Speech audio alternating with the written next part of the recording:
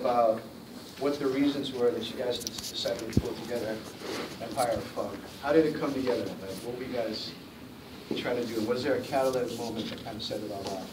So what's the origin story of Empire? Yeah, what's the creation story of Empire Funk? I mean, we have different versions. Um, me and Kandi were speaking around 2008. So 2008, mind you, this is around the time of Kaba Modern on America's Best Dance Group, right? Um,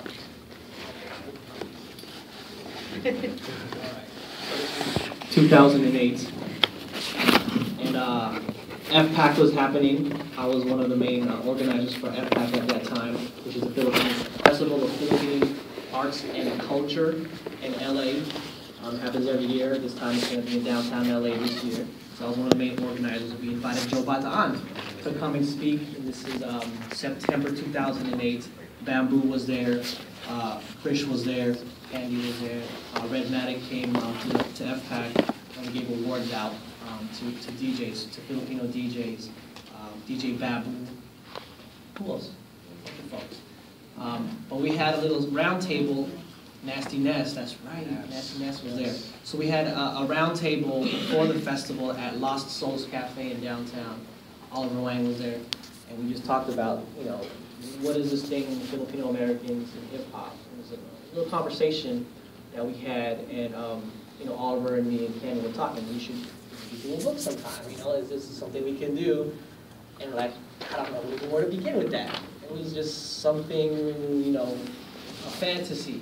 Um, but we stayed in conversation, and we made a website. So I don't know if you all are familiar with the old school Empire Funk website. Uh, we collected stories, and, and um, almost all of those stories are now in the book. And Rod came on board about maybe a year and a half ago and made this, helped make this book happen and helped shape, shape the book for us. Um, so that was, that was my version, is the Kaba Modern was something I think was on people's minds. And we're like, this is, you know, Kaba Modern is great, they're on TV, but there's a big story behind that, and no one is talking about that, that story of Kaba Modern aside from MTV.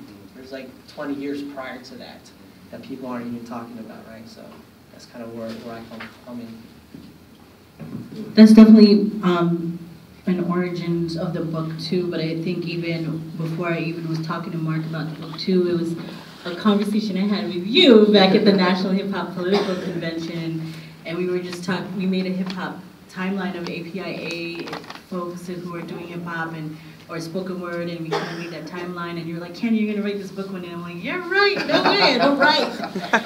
and then and then it evolved, and then me and Mark, and then all the things that Mark was mentioning in terms of uh, the other parts of the origins of the of like envisioning this book and the possibility of this book happening.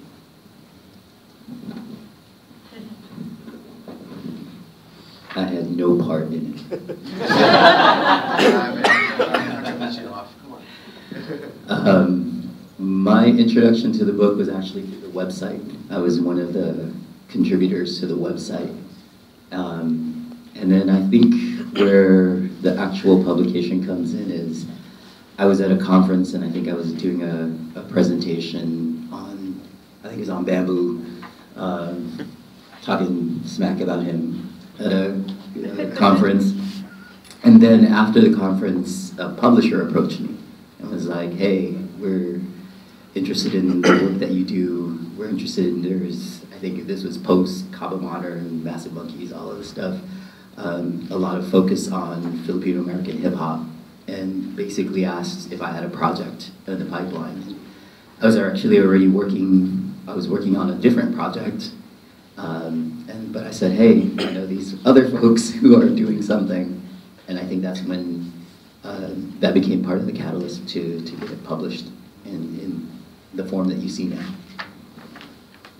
Talk a little bit about um, you know, there's such a rich diversity of, of voices in the book, and I'm just curious how you guys made the decision to go so huge, and what kinds of things were involved in trying to think about how to capture the entirety of the, maybe not the entirety, but, you know, to capture the Filipino-American experience in hip-hop. How did you guys conceive of that? The other week, I tried to count how many people are in the book. Like, people who contributed artwork, people we interviewed, um, etc. There's over 60 people in this book. 60, right? That's crazy. And that's not even enough. So, you know, we get people like, oh, am I in it? You know, so we, we didn't capture even a fraction of the, the story we can tell with the larger hip hop, um, Filipino American experience in hip hop. Um, so I think it's naturally like we, we had no choice but to be collaborative and to have, uh, um, like that's the only way to do it, you know what I'm saying? So to have the artists speak themselves was just common sense, like that, you know, that was not even like a thing to debate about. Like, okay, what, we should make a book about this. We should have the artists themselves speak. We should interview the artists who, you know, make that easier if you want to com compact eight people um, into into one chapter. And we did that. We have, you know, 10, nine people in some chapters, and the filmmaking one, for example, um, because there's just that many people involved with the debut, you know? That movie is so important. So we have to have all those people speak, you know? So that's just one point. Um, I think we, I remember starting off really small and then growing in that, and we did some small ways of open call to open submission. We did a little small thing of that to really hard in a large way to promote it in a large way.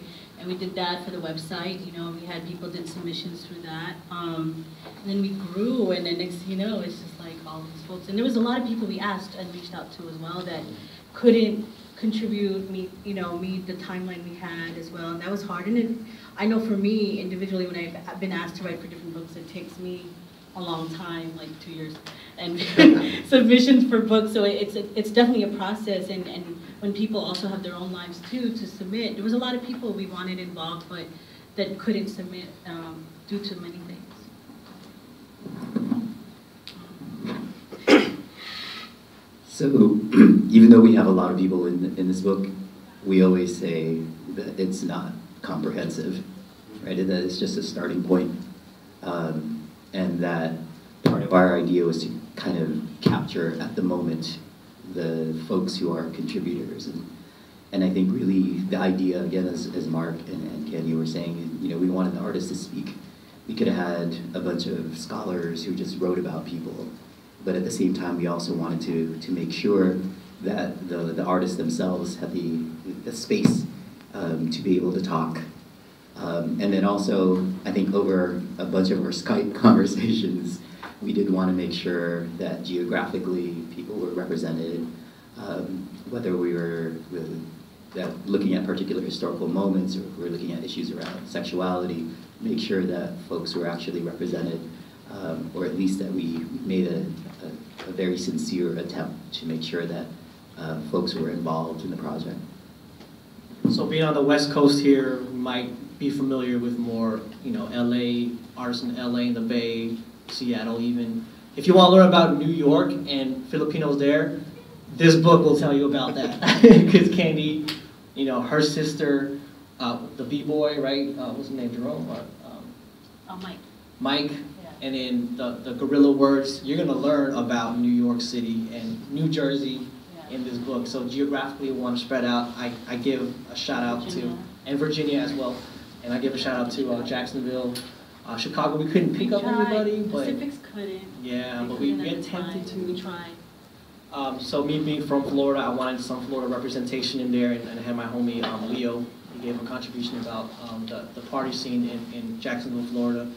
Um, but yeah, so we, we wanted geographically to be right. Hawaii is also super central in this book too.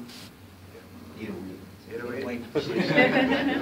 All right, so um, tell us a little bit about like what you guys thought you were, what kinds of holes you guys were plugging with Empire of Funk in terms of the study of uh, or knowledges of Filipino Americans, Filipino American knowledge in terms of hip hop, knowledge of hip hop, hip hop knowledge, just in general, just in terms of of, of uh, what you guys were trying to plug. Like, what what did you need to fill the gap I that think, you needed to fill? I think you're spot on with the whole local. Like everybody in this book has a local story to tell. And I, I know translocal is the next conversation at, at one o'clock.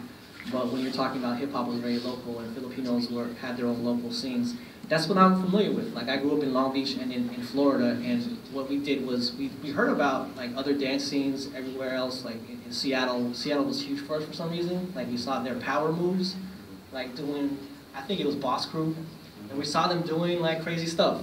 But we had our own scene in, in Long Beach, my brother's scene in, in Florida. Um, it was local. We just did it because it was fun.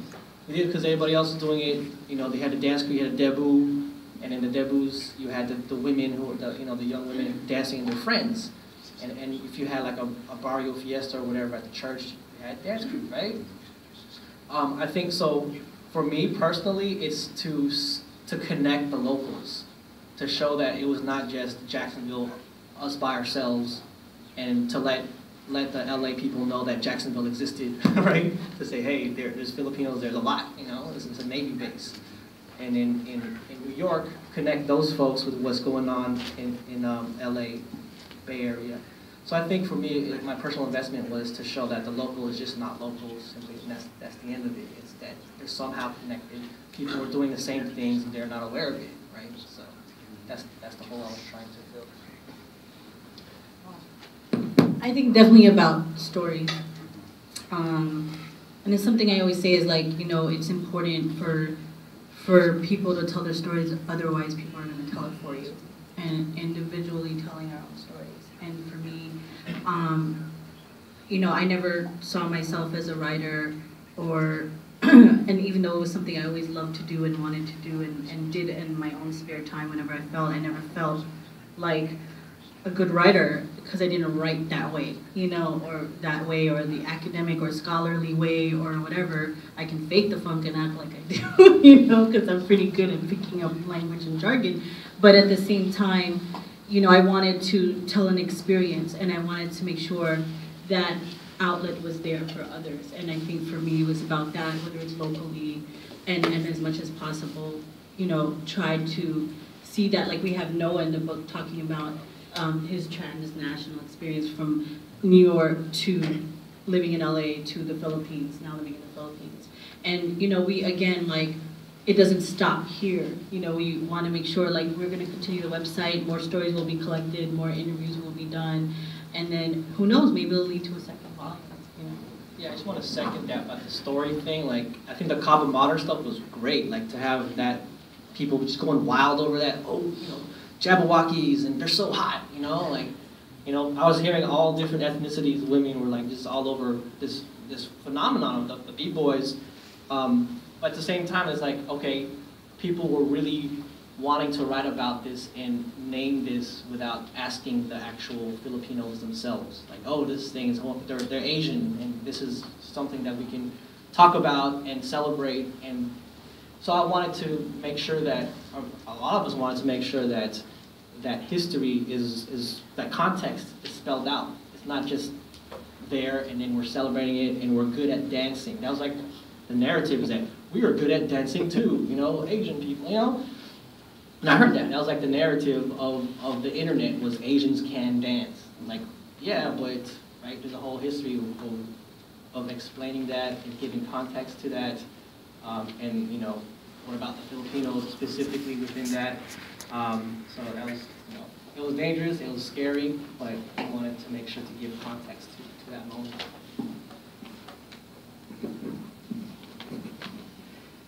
For me, this is really self-serving because I teach classes on Filipino Americans, Filipinos, Asian Americans, popular culture, and I always play music, um, do all of this, and I wanted to be able to have a, a text could go, here's what we're going to study this semester. And at the same time, I also wanted it to be a, a, a document that said, this is about Filipinos, but it's also about Filipinos who are talking about themselves in different ways. That being Filipino is not singular. That being Filipino stretches across different times, different places. And that whether we're sharing particular historical times or we're sharing particular spaces, that there are different ways that we, we can understand what it means to be Filipino. And that we're doing this in a bunch of different ways, right? And culturally, we're doing it in a bunch of different ways. And for me, that's what, what I wanted out of this. And that's what I was looking to do. And again, it's also very self-serving because then now it's easy. I can I have a book that I can use in my class. And how people are going to hate it they have to listen to class. They love it. They love it. They love it. They want to go and get everybody's autographs, which I like to do too. All right, so, uh, should we open it up to the audience? Any questions? Any questions you have of, uh, of our, of our illustrious um, co-editors here about the project, about the book? Yes. You can stand too, so we can all hear you. Andy, Uh, my name is Andy. You want to, yeah. Sure. I'm a senior, major in criminology, minor in Asian studies. So I was wondering, uh, to the panelists, like, have y'all like thought about, um, translating the material into your like mother tongue? Uh, to like Tagalog, so that it's accessible to another audience? The answer is we actually were approached um, by a press in the Philippines to see if we want to do a volume in the Philippines. So there's your quick answer. but again, as I was stressing my classes, people in the Philippines prefer to speak English anyways. So if they're in Cebu, they don't want to, it's hard to read Tagalog for a lot of people. So, you know, maybe in Spanish, that may make sense in the United States. In the Philippines, that's a much more politically tricky thing because it's an Anglophone country. So. Yeah. Okay. And I just feel like when you speak in your like your native tongue, that's a resistance to like uh just like uh dominant like Western ideologies or beliefs, you know. So it's like very like powerful. You can understand it from like your mother land. So yeah, thank. Come to the concert tonight, you'll hear some illustrious artists speaking bilingual, right? Uh, Other questions, comments? Yes, over here. Um, I know you guys mentioned, uh, I but, uh, I know you did mention uh, Kaba Modern in 2008, and I remember um, that was one of the first things that really inspired me to dance to. Um, and I also remember that most of the members on that stage were actually not Filipino, if I remember correctly. Some of them were Korean um, or other Asian cultures, and uh, I just wanted to um, ask, you know, like, what's your opinion on that? Um, a non-Filipino um, culture representing a Filipino uh, name like Kalamata. Everybody heard the question in the back? Yeah? Okay, cool. All right, Mr. Wade, the DJ for tonight, the concert. Um, DJ Wade, is that how you want to say it? Uh, feng Shui. Okay, Feng Shui, uh, Empire of Feng Shui. um, so the question was about Kaba Modern on MTV, and they're not Filipino. How do we feel about that? Um, I mean, that was a big deal on the internet. That was a huge debate.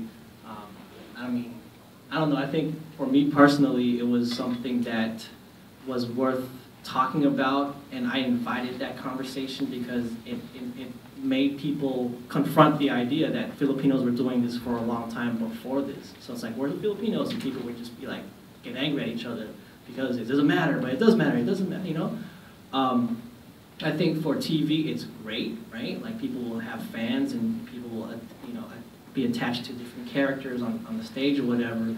Um, but for Filipinos, it was, it was, you know, like where are we? And there's, there's different reasons of why that occurred. So if, if people are wondering what happened, I'm sure Arnell can talk about this later um, when he's on the, on the panel.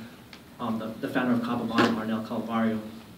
But there was logistical reasons why they, those Filipinos who were on the crew couldn't make it, right? So it wasn't intentionally, let's cut out the Filipinos because we don't like them. It wasn't, it wasn't like that. It was because they had other things to do, other priorities. Um, and so the only people available were those who were not Filipino. So I don't know, be it what it was, I mean, I think it was a good thing to have the conversation. Um, did it did do an injustice to the actual name Kaba Modern? Maybe, sure, whatever, but I don't think that's the, the issue at point. The issue at point is that we can now talk about it and give context to it and make books like this, right? Um, so, yeah. I think we have time for one more question. I saw your hand over there. Um, So you were talking about um, how the artists speak for themselves, and documenting communities is extremely important. So what would you say were important lessons that you've learned or that you offer to people if you wanted to further build community and have people encouraged to speak about their experiences when for so long they've been, there's been such resistance to do so? The- So the question.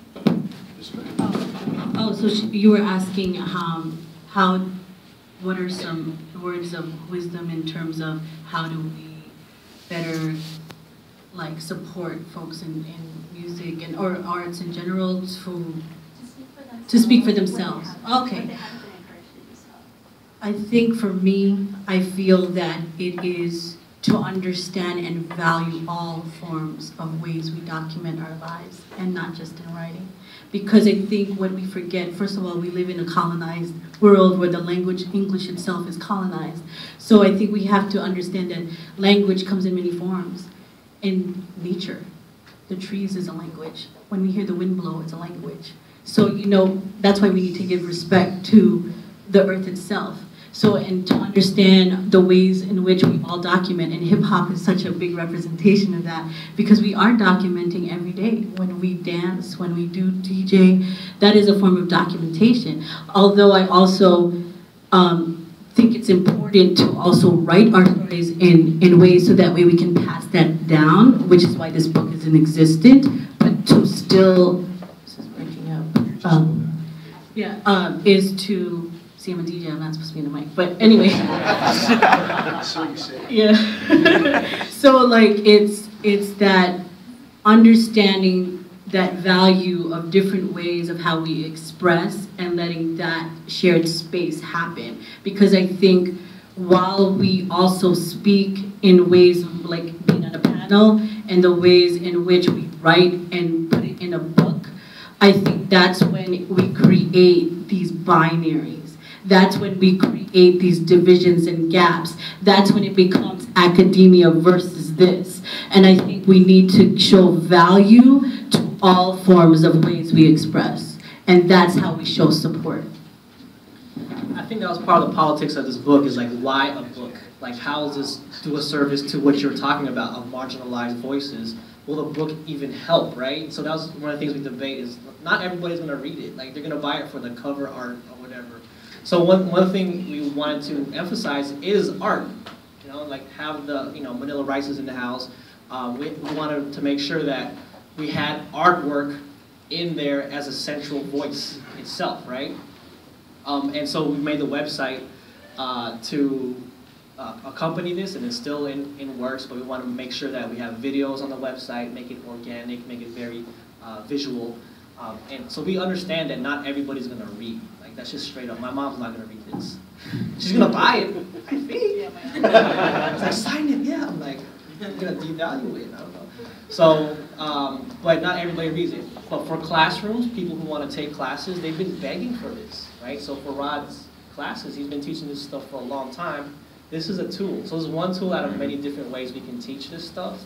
Uh, but we understand the politics of like not everybody is going to read or want to read. There's, there's also the politics of publishing, Yeah. right? Because we had lots of discussions, everything from why am I, who has like the, whatever, the academic background, why am I not the first author, right? That kind of stuff, and um, that was, that was the big thing, because I insisted I would, that I should be third, right? Um, Oh, yeah. That was- and that was actually a big thing with our publisher, because they had approached me initially, but. They didn't- they wanted me last because I didn't have the PhD. No, no, first of all, I, I, that's why I reacclaimed myself as Dr. DJ Kuttin Kandi. To come and be like, you know, what, I, I self-acclaim, I don't got a college degree, I don't got a BA, I don't got none of that, but I'm just as smart as you and I can sit on a panel with you at Princeton College and say whatever. You know, so. UC Irvine, you mean? Yeah. Yeah, my letters are DJ, that's my name. Yeah, no, so those are the other, thi- the other kinds of considerations, particularly if you want to publish, if you want to do it as a a textual thing, right? So those are other things, and and Jeff can probably speak to this way more in terms of the politics of, of publishing, because when you put it down on paper and you're working with presses and things, it's a, it's a different being. Just uh, one more, time for one more question, I think. Okay, uh, anybody else? Right here, I'm sorry. Um, like uh, just going off on what you said, you uh, mentioned about like how long it took for the publishing. So like, um, I guess the main question is, um, how how much red tape did you have to go through to even get this project going? Like, I mean, like some people, I'm not, I know it's not the same, but like some people like throwing jams, they have to like go through their administration and um, get it forwarded, and it might take them a while for even them to greenlight it. So like, the basic question is like, how long did it take you guys to like go through all these jumps and hoops? So because the publisher approached me, it was, uh, I think it was much faster than it usually is. Um, and then the, the good thing um, was that they already had a project that was going, right? And so, um, in terms of, there's, I mean, there's a whole bunch of different things too, because I think also the conversation that we were having with the publisher was, how come you don't have more scholars that are in this book? Amber Alert. Yeah, we can Wow. Everybody get the Amber Alert? Yeah, the, she shouldn't be talking about publishing, the politics of publishing. Publishing, because usually publishing books takes a long time, right? And there's lots of, like, a lot of different things that go into to publishing books. And that's, I mean, and that's the other thing that we, part of the reason why we chose the publisher that we wanted to do, or, or that we eventually went with, because it, they allowed us the freedom to do the book and design it in this way that, say, if we would have gone through a, a strictly academic press, um, which is also what we were, were thinking about. I think this book wouldn't have been forty-eight dollars at Amazon, Amazon. It would have been like a hundred something, um, with all of like the color photographs and everything. So there's there's a whole bunch of different considerations, but I think part of it is that we had a publisher that was that believed in the project, that wanted to get the project off the ground, um, and then they also were willing to work with us in terms of the kind of book that uh, we wanted it to be.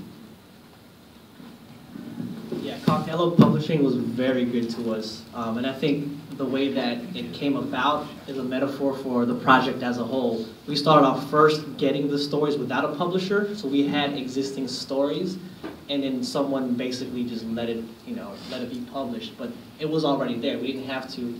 It wasn't the other way around when they approached us and we had to gather. They were already there. We already had all, not all the stories, probably like 40% of our of our material because we we've known it already, right? So I think that was just a bigger metaphor of, of this project.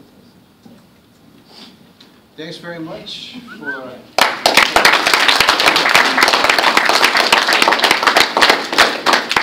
We just want to let you all know that there are copies up here for purchase, so support community-based research. And uh, put back into the community, it's only 40 bucks. I mean, that's what, like a couple of lunches, right? Like a week of food, we can give it up. One more time for the co-editors.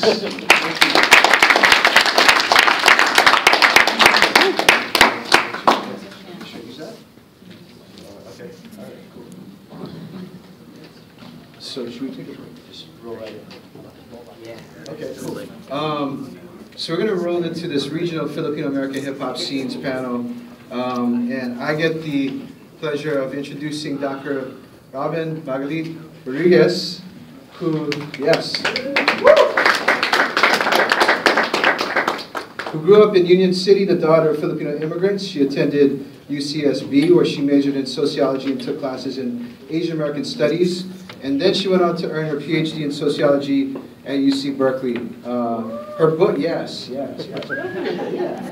Her book, her book, Migrants for Export: How the Philippines Brokers Labor to the World, won an honorable best mention, or honorable mention for best book in social science by the Association for Asian American Studies. Uh, her co-authored book, Asian America: Sociological and Interdisciplinary Approaches, will be published uh, this year by Polity Press. Oh, it just came out. Ah, nice. Okay. And currently, she's finishing a book entitled "In Lady Liberty's Shadow: Race and Immigration in Post 9/11 New Jersey," to be published by Rutgers University in 2015. She co-founded the League of Filipino Students, formed the Critical Filipino Studies Collective, and works closely with the National Alliance for Filipino Concerns. Dr. Rodriguez. Okay, so if it's Dr. Cotton Candy because she's an expert in hip hop, I'm not an expert on hip hop. Um, so I think I'm really here to rep Union City. Where my people at? Union City in the house? Really? Well, Fremont. Oh, that's different. That's different. okay, put your hands in the air if you're from Union City. You can claim Union City. I'll give you permission. I'll give you permission. If, okay, how about if you know Union City? Put your hands in the air. Yeah, okay. Okay, what about San Ho? You know San Ho? Where are you? If you're if you're from San Ho, again, raise your hand if you know that you know San Ho, of course, because you got family from there, you got people from there. Um, okay, what's another place? Jersey City. Jersey City. Okay, put your hands in there. If you're from there, put your hands in the air if you know Jersey City. You know it. You know it. Kalihi. Kalihi. All the Filipinos in Kalihi, right? okay, what else? Shuttle, shuttle. Put your hands in the air if you're from Seattle. Put your hands in the air if you're you know about Seattle. Or Cerritos, that's a good one. Cerritos, Cerritos in the house. Put your hands in the air if you know Cerritos. Put right, okay. We could go on and on and on. And why did I start like that? Because secretly I aspire, you know, to be. Um, yes. but actually, I am very honored to be here. Um, and as I said, I was a little surprised to get the invite. I do teach Filipino American Studies, um, but I'm no means an expert. But what this was is an example of local knowledge. And this is something that came up earlier with Jeff's talk.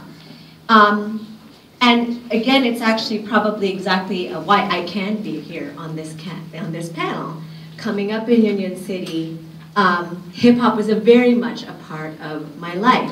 And I think that's true for many of you. We know what we know. We know Union City. We know Cerritos. We know Jersey City. We know Kalihi. We know Seattle. We know National City. We know San Diego. We know San Ho. I know we know Jacksonville now. we know Virginia Beach. Um, we can go on and on and on. We know what we know. Um, we can point out key localities in Filipino America, not because there is a map out there that we can buy, not because there is a map that we can Google. We know it because we live it. We know it because we've been there. We know it because we got people there. We know it because we heard it from our people. This is what we call local knowledge.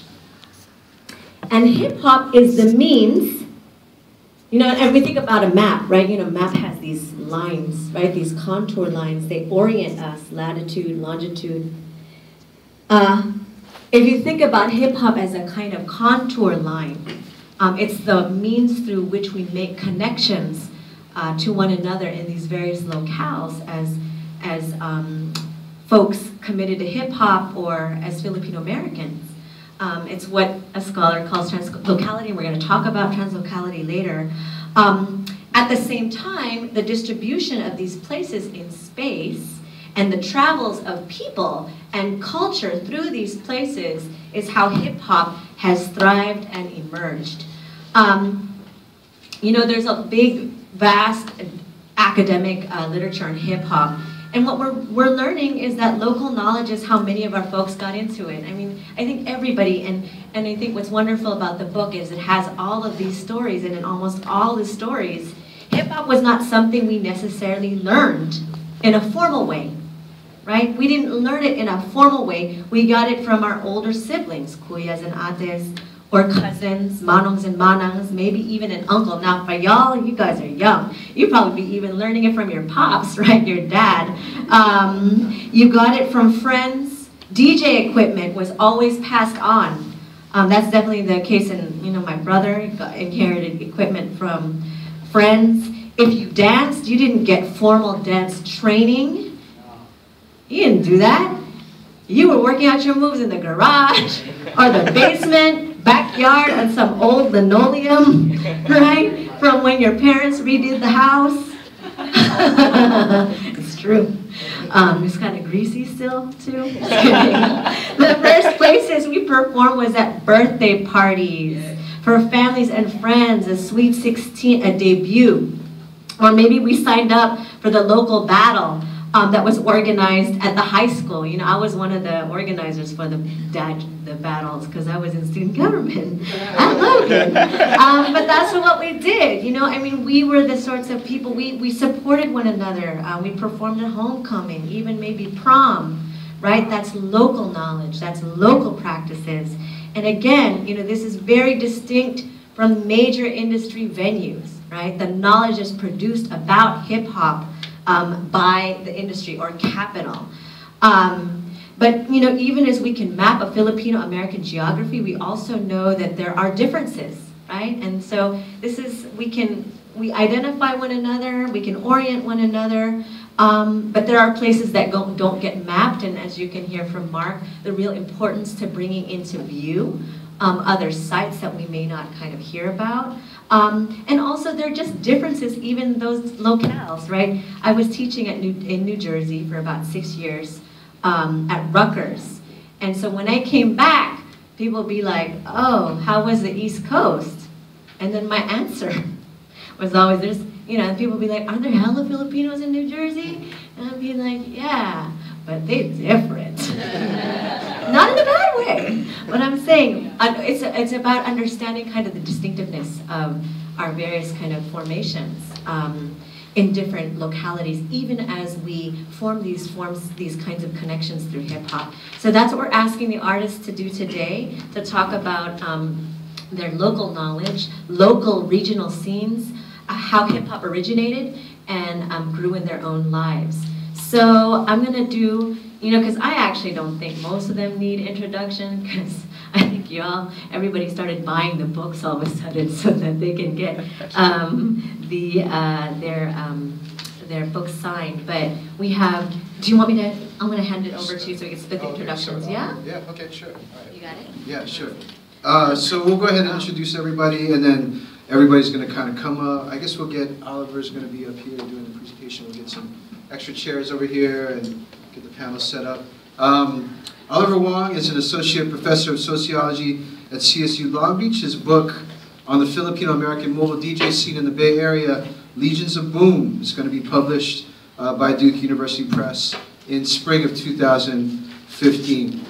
Uh, we also have Sean Slusser, who's a PhD candidate in history at UC Riverside. His dissertation looks at Filipino participation in 1980s and 1990s LA hip hop culture with an eye towards how that participation was shaped by U.S. imperialism in the Philippines and post-Watts rebellion, LA. In his free time, should I read that, Sean? You really want me to read that? No, your hair? It's up to you. Yeah? Okay. I'm gonna, no, I'm gonna slide All out. right. I'm gonna slide mine out. Because you look good, man. You look good. Thank He had a little thing here about his hair, how he used to have more hair, and it's, yeah, all right, old folk stuff.